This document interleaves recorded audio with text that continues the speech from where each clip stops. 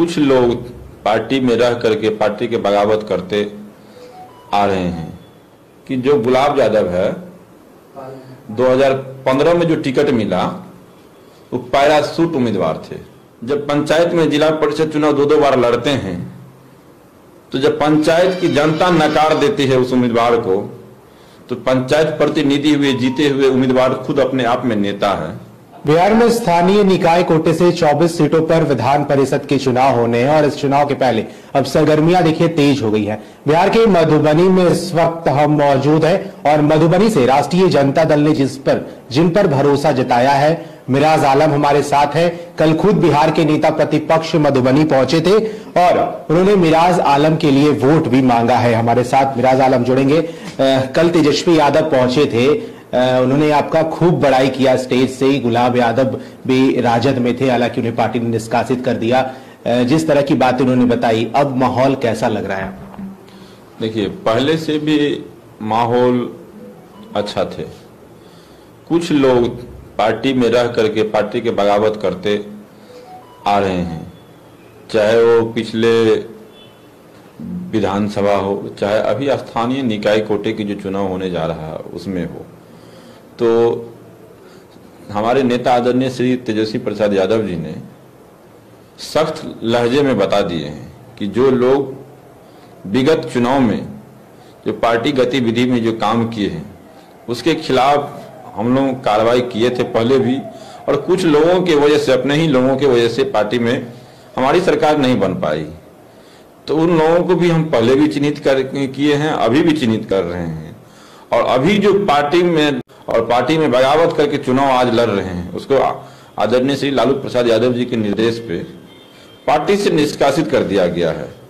निश्चित तौर पे जब से निष्कासित हुआ है, जीत का मार्जिन बढ़ा है और आदरणीय नेता प्रतिपक्ष श्री तेजस्वी प्रसाद यादव जी ने कल हमारी नामांकन सभा में जो आए थे तो यहाँ तमाम पंचायत प्रतिनिधि और तमाम राष्ट्रीय जनता दल के कार्यकर्ता, महागठबंधन के जो कार्यकर्ताओं में सख्त निर्देश दिए हैं कि ये चुनाव मिराज नहीं लड़ रहा है। ये चुनाव आदरणीय श्री लालू प्रसाद यादव जी, आदरणीय श्री तेजस्वी प्रसाद यादव जी और राष्ट्रीय जनता दल महागठबंधन के चाहने वाले जितने भी कार्यकर्ता नेता हैं, वो चुनाव लड़ रहे हैं।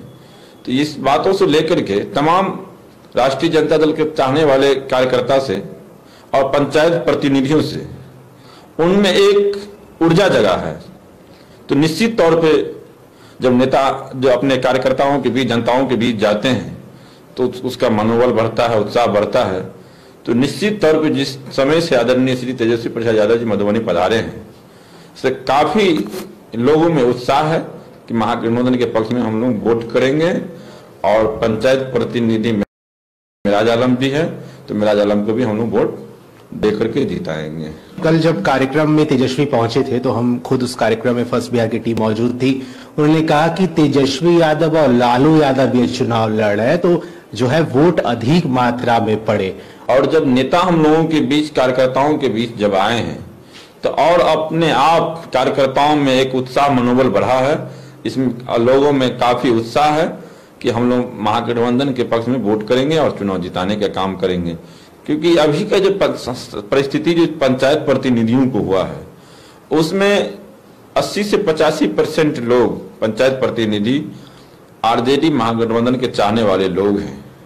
तो निश्चित तौर पे जिस तरह से चाहने वाले लोग हैं महागठबंधन के, उस वोट हम लोगों के पक्ष में पड़ जाएगा तो निश्चित तौर पे कहीं कोई लड़ाई नहीं है इस चुनाव में। एक तरफा चुनाव होने जा रहा है। बहुत बातें हमने सुनी कई उम्मीदवार ये कह रहे हैं कि हम चुनाव जीतेंगे तो ये करेंगे वो करेंगे जनप्रतिनिधियों को सम्मान दिलाएँगे। मधुबनी से अगर मिराज आलम जीतते हैं तो जनप्रतिनिधियों के लिए क्या होगा? सबसे पहले तो जो उम्मीदवार कहते हैं कि हम जीतेंगे तो ये करेंगे तो हम उस उम्मीदवार से कहना चाहते हैं। उसमें दो उम्मीदवार पहले से चुनाव जीते हुए 2006 में ए, हाँ 2009 में और 2015 में। तो हम उन उम्मीदवार से भी कहना चाहते हैं कि पहले जो आप 2009 और 15 में चुनाव जीते हुए तो जनता के बीच में क्या कहते हैं? आप जिस छह साल का, क्या कार्यकाल का हिसाब दे? और रह गया, अभी जो एक दूसरे दल से भी उम्मीदवार है, कांग्रेस से, वो है पैरासूट उम्मीदवार कहा जाए। उस उम्मीदवार के बारे में नहीं कुछ कहना चाहिए, क्योंकि अपना अपना सब उम्मीदवार है। उस उम्मीदवार के बारे में जाकर के पूछिएगा कि इस मधुबनी जिला में आप कितने दिन में जिस पार्टी में हुआ है उस पा, उसी पार्टी के बारे में कितने दिन से इस पार्टी में आप कार्यकर्ता के रूप में हैं। और जो आज क्या कहते हैं इस पार्टी में से बगावत करके जो उम्मीदवार चुनाव लड़ रहे हैं जिसको निष्कासित कर दिया गया है वो उम्मीदवार जब पंचायत में जिला परिषद चुनाव दो दो बार लड़ते हैं तो जब पंचायत की जनता नकार देती है उस उम्मीदवार को तो पंचायत प्रतिनिधि हुए, जीते हुए उम्मीदवार खुद अपने आप में नेता है। और नेता अपने आप को कैसे चुनेगा वो नेता? तो उस उम्मीदवार के बारे में हम क्या कर सकते हैं उससे ज़्यादा? देखिए, कल आप नामांकन सभा में सुने होंगे कि हमारे नेता आदरणीय श्री तेजस्वी प्रसाद यादव जी ने अपने वक्तव्य में बोले हैं कि जो गुलाब यादव है 2015 में जो टिकट मिला, वो पैरासूट उम्मीदवार थे। पार्टी में कार्यकर्ता थे, लेकिन आज तक पार्टी में सिर्फ़ सक्रिय थे, लेकिन वो रहते थे कहा? पूना।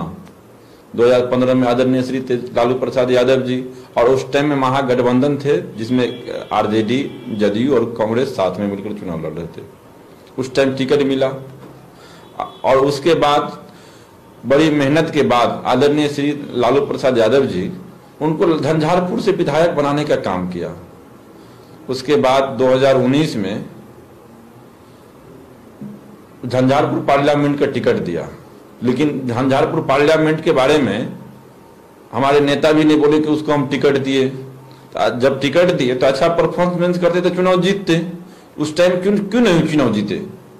और उनकी बेटी, बिंदु गुलाब यादव जी, अभी जो चेयरमैन बनी है, वो महागठबंधन राष्ट्रीय जनता दल के उम्मीदवार के रूप में बना है। उसमें तमाम राष्ट्रीय जनता दल के जो जिला परिषद थे और उसमें सीपीआई सीपीएम माले के भी जिला परिषद जीत करके आए हुए हैं वर्तमान में। वो लोग गठबंधन धर्म को निभाते हुए छप्पन में उनचालीस वोट अंबिका गुलाब को महागठबंधन को देने का दिया। अंबिका गुलाब को नहीं, महागठबंधन राष्ट्रीय जनता दल को वोट दिया। अगर राष्ट्रीय जनता दल अगर उम्मीदवार नहीं होता तो पता नहीं उसको कितना वोट मिलता। और जिस बिंदु गुलाब, क्या कहते हैं, अंबिका गुलाब के बारे में कह रहे हैं तो जनता समझ रही है। कि जनता इसलिए समझ रही है कि भारे के चटु हाउस में नहीं चलेगा। जो बिंदु, अंबिका गुलाब यादव अपनी पंचायत प्रतिनिधि और अपने मधुबनी जिला के तमाम जनताओं को जो अभी संबोधन भी नहीं कर पाते हैं वो सदन में आवाज़ क्या उठाएँगे पंचायत प्रतिनिधियों का? ये पंचायत प्रतिनिधियों का चुनाव है एमएलसी है। ये जो खास करके जो एमएलसी स्थानीय निकाय से जो होने जा रहा है, ये पंचायत प्रतिनिधियों का चुनाव है। क्योंकि पंचायत प्रतिनिधियों का जो समस्याएँ हैं, ये बहुत कठिन समस्याएँ हैं। इसलिए इस समस्याओं को सदन में रखने की ज़रूरत है। इसलिए तमाम पंचायत प्रतिनिधि समझ रहे हैं कि जो आज हमारे सदन से बाहर जो हमारी आवाज़ में हमको क्या कमी है, वो नहीं, आवाज़ बाहर में नहीं रखा जा रहा है तो सदन में क्या रखा जाएगा? चलिए देखिए, मिराज आलम हमारे साथ जुड़े थे और मधुबनी का जो चुनाव होना है, वो दिलचस्प हो गया है जब से मिराज आलम मैदान में है। अब देखना होगा कि जो जनप्रतिनिधियों के लिए काम नहीं किए गए, वो मिराज आलम ने कहा है कि सबसे पहले जीतने के बाद उन जनप्रतिनिधियों के लिए वो तमाम काम पूरे किए जाएँगे। अपने सहयोगी डब्लू के साथ अस्मित सिन्हा फ़र्स्ट बिहार मधुबनी। लोग यहाँ दिल्ली, बंबई में घर पर घर खरीदते जा रहे हैं। और एक ये साहब है कि अपना घर बेच दिए रिटायरमेंट का पूरा पैसा लगा दिए थे दिल्ली में घर लेने के लिए। अरे बाबूजी तो अपना एक नया घर खरीद भी तो रहे हैं ना? नया घर खरीद रहे हैं? कहा? पूर्णिया में। पूर्णिया में? हाँ। अरे बाबूजी दिल्ली बम्बई में घर खरीदना अच्छी बात है लेकिन अपने घर पे घर खरीदना बड़ी बात है। देखिए पूर्णिया में पनोरमा सिटी और पनोरमा हाइट दोनों जगह का ऑप्शन उपलब्ध है। देखिए और बुक कराइए। मतलब अपने शहर में अपना घर। जी, बिल्कुल। अब कीजिए घर वापसी पूर्णिया के पैनोरमा सिटी और पैनोरमा हाइट में। पैनोरमा सिटी और पैनोरमा हाइट आपके शहर में आपका अपना घर।